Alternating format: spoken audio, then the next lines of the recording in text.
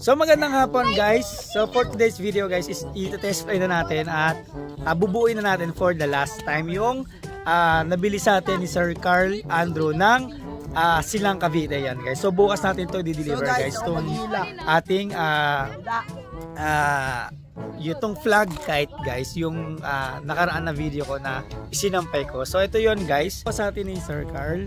Yan itong ating flute na 15 yan 15 yan. Yan guys ito ito yung nakuha sa atin ni Sir Carl. Yan guys. Itong flute na 15 at itong 3.5 meters guys ito. Guys nakuha nyo yung tela. Ito na nga po guys is uh, nabuo na natin yung ibibigay natin or i-deliver natin kay Sir Carl Andrew ng uh, Silang Cavite. Yan guys. So bukas na natin to i-deliver Sunday. So guys, yung buo na siya. Ayan. Ito po, hindi po kasama yan guys. May kakay po yan, nakain ng... So ito po guys, ang ang i-deliver natin bukas kay Sir Carl Andrew. So ito ay cow sound guys. Kasi tapos, ito yung Eh, Star Wars. Ayun pa, may kakay po doon. Guys. Ano ang pangalan niya? Ano ang pangalan niya? Justin! Ayun si Sian. Sian. Nakapula. Si Ian yung nakapula guys. Na shoutout kay si Ian. Yan. Hey. Tapos naka-yellow. Ito naka-yellow. Si Justin. Yung naka-itim. Itim ba yun? Justin nga? Ah, Justin. Itong yellow. Caleb. Caleb. Yan guys. Shoutout sa kanila. Galing pa silang ano, Bacolod. No, galing pa Bacolod no. Yan, dumami pa sila dito guys. Galing yung Bacolod. Hindi joke lang. Yan lang yan. Eto na guys. So, paano na kami guys at i-deliver namin bukas. See you tomorrow. At dahil nga guys hindi namin na final test fly yung Vietnam kite ni Sir Carl ay tinest fly na namin itong umaga yung uh, mismong saranggola. Kasi gusto namin guys at maka-assure na lilipad at walang killing yung aming saranggola bago namin i-turn over sa mismong may-ari nito. Ito nga guys is araw ng linggo. Ito yung araw na i-deliver namin yung mismong saranggola ni Sir Carl. At ito lang guys yung araw na nag-fishing kami ng mga batang to. Kaya pinakuha ko muna saglit sa mga bata yung saranggola para mai-test fly dahil malakas yung hangin. Dahil malakas nga guys ang hangin ay dito namin malalaman kung may killing ba ang saranggola. Kasi minsan guys kapag mahina yung hangin, kapag hinagis natin, is akala natin pantay na yung lipad niya. Pero pag lumakas yung hangin, dun natin makikita ang tunay na killing ng isang saranggola. Ito nga guys mga batang to ang kadalasang kasama ko guys sa pagpapalipad ng saranggola. Sila din guys ang bumubuo o nag-assemble ng aking saranggola, nagpapalipad o naghihila. So guys kahit ganong kalaki ang saranggolang niyan, talagang sila talaga magpapalipad niyan. Naisipan ko nga guys na ibenta tong aking saranggola kasi bubuo ako ng bago. At ayaw ko naman guys na ma-stock na lang yung saranggola at walang gagamit. Kaya binenta ko or pinost ko yung itong saranggolang to guys. Ito nga guys is mura ko na ibenta kay Sir Carl. Siguro kung tatanungin ako mga 30% to 35% yung discount na nangyari dito sa pagbenta ko. So mas mura siya guys kaysa dun sa pagbuo ko or yung total ng cost ko or paggastos ko sa pagbuo ng saranggolang to. So bala ko lang talaga guys ibenta to ng mismong saranggola lang. Pero sabi sa akin ni Sir Carl kung pwede daw ba niya na makuha or mabili din yung ginagamit kong flute dito sa 3.5 meters. Dahil madalas ko na rin nakakausap to guys si Sir Carl at gustong gusto niya rin talaga na makuha yung mismong saranggola pati yung flute ay ibinigay ko na rin guys yung mismong flute sa kanya kasama nung saranggola. At mura ko rin guys na ibinigay o binenta kay Sir Carl yung mismong flute nito. At sa mga naghahanap nga po guys at gusto magpagawa ng kani-kanilang mga Vietnam kite, i-PM nyo lang po ako guys sa aking social media account especially dito po sa aking Facebook account. At don't worry po guys, pag naka-like, share, subscribe kayo sa aming mga social media account, ay libre po naming bubuuin ang inyong saranggola or inyong Vietnam kite. Tama po kayo guys at yung materialis lang yung inyong babayaran.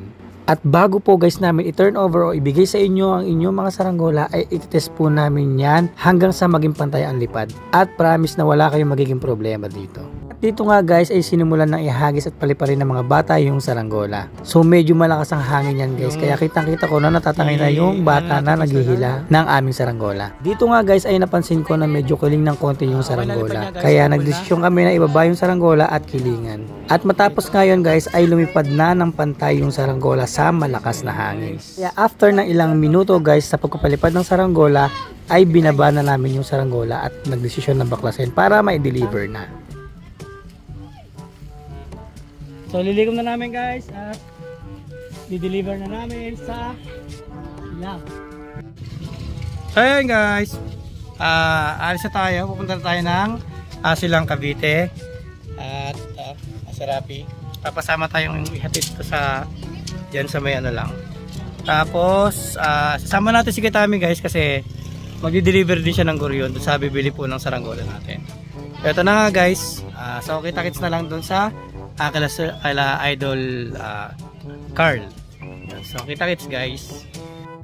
So ito guys yung dadalhin namin. Tora-tora. Ni Kitami. Ay so yung mga bata. Ayun.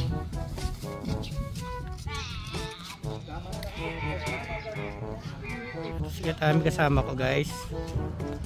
Yan. Kahit na andito pa kayo. So tatali namin to dito. Sa motoro. Kasi di namin kaya bitbit kasi may dala kami ng kite. Ayan guys. So ito. Oh, mga amoy igat kayo ah. Guys. So kita kita kita na lang guys dun sa ano sa dideliveran namin guys. So ito guys. Ito naman kami. Ay! Ay, ito. Ah, yan. Siya na yung pumanahan natin sa Rangola. Yan. Si Idol. ito si Kuya. Yan si Kuya yung ating ano, bumili ng saranggola. Yes, na, right? Pag bibili ka ng Vietnam kahit ilarin. Yan. Kahit Kuya yan. PM, 4M, pwede magpa-customize, pwede maguryon. Yan, PM ka lang si Daryl. Solid yan, solid. Yan si Idol. Kasi ito yung ah, tora-tora na pinagawa sa atin. Kuya. Yan. Ito. Patak. Yan yun. Ito sila Idol. Ano pangalan mo Idol? Po. Ha? Israel.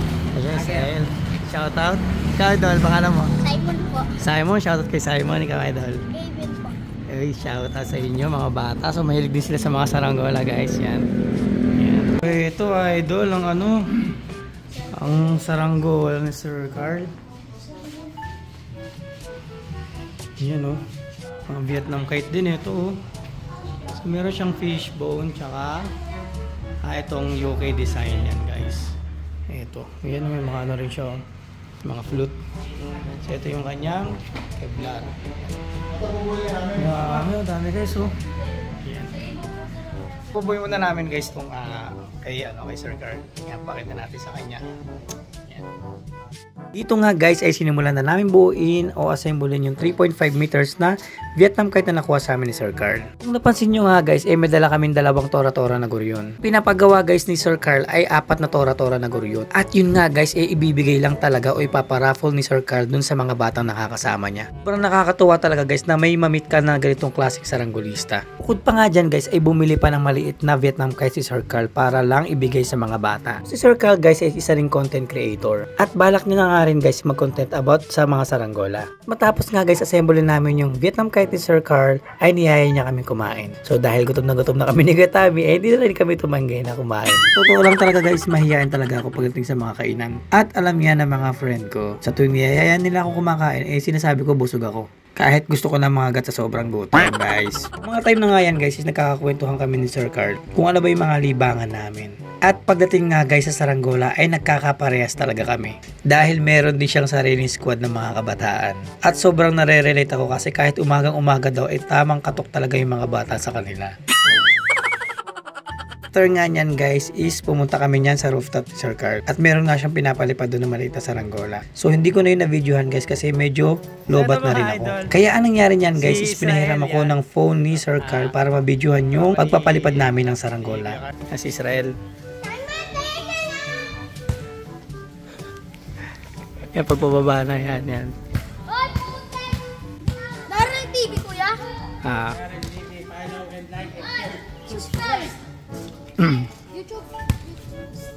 ito na guys oh. Israel oh, lakas oh, parang si ano lang eh, si Rafi. At habang nagbi-video nga tayo guys, eh may lumapit sa ating bata at tinatanong kung ano yung YouTube channel natin. At pinapasulat nga niya sa kanyang kamay. Sobrang nakakatuwa talaga guys at nakakataba ng puso na maka-encounter ka ng ganito. Palit nga po nito guys is patuloy kami mag-share ng mga nakaka-good vibes na video para sa inyo. And hopefully soon guys is makapag-share tayo ng mga saranggola para sa iba pang mga kabataan. Sige, kaya mo yan!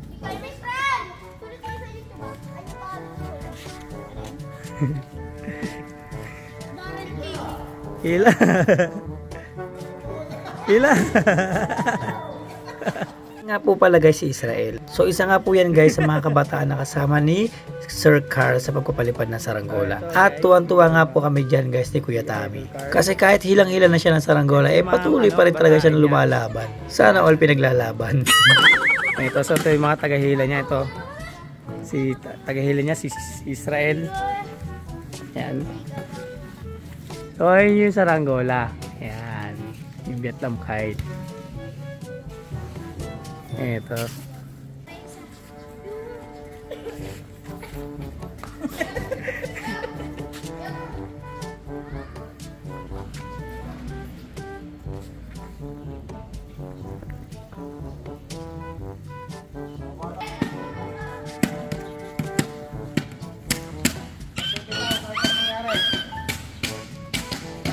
Kahit mag-swimming ka, okay lang yan.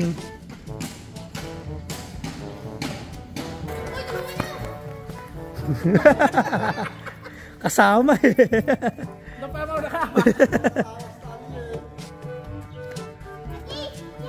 Parang ano eh, no? Parang ako lang tsaka si Rafi eh.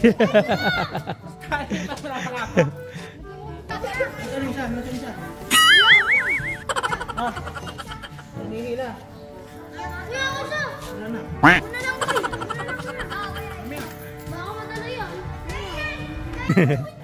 Bingot ka dyan. Dahil alas 4 na nga guys at tinapos na kami ng hapon ay nagpaalam na kami kay Sir Carl. At tinulungan na rin nga namin ni Sir Carl na magbaba ng saranggola. Kasi sa totoo lang guys is hindi ito kayang ibaba mag-isa ni Sir Carl. Dahil bago din guys si Israel sa ganitong kalaking saranggola ay hindi pa nila alam kung paano diskarte ang gagawin nila pag ganitong kalaki na yung saranggolang ibababa nila. Din guys medyo challenging ang pagbababa nito dito sa kanilang lugar kasi nga may mga tatamaang puno at gusali o yung mga paaralan dyan guys sa baba niyan. Sobrang na-enjoy namin guys ang pagpunta namin dito. At sobrang bait din ni Sir Carl at nakakatuwa rin talaga guys sa mga bata dito. Parang ganun din ba tulad sa amin? At sure siguro guys na one day is babalik kami dito ni Kuya Tami at magpapalipad kami ng saranggola. Kaya maraming maraming salamat Sir Carl sa pag-welcome sa amin dito sa inyong lugar sa Silang Cavite. Big shout out guys dito kay Israel. At sana pagbalik namin Israel is napakagaling mo na magbaba ng saranggola at magpalipad. Yan guys, pauwi na kami at nakasama natin si ano, si Idol Carl. Yan, so maraming maraming salamat kay Idol. Thank you, thank you. Thank you. Sobrang saya, sobrang saya guys punta rito. Yan, sa susunod dadayo kami dito guys. So, pauwi na kami guys at yan, ah, dito kami galing yan dyan. So, lakas ni Idol ano, shout out kay Israel yan, kay Idol Israel. Shout out sa iyo. Lakas mo. Yan tayo ka tansa. Yan. So kita kits guys sa aking next vlog. So maraming maraming salamat sa nanonood ng aming video yun guys.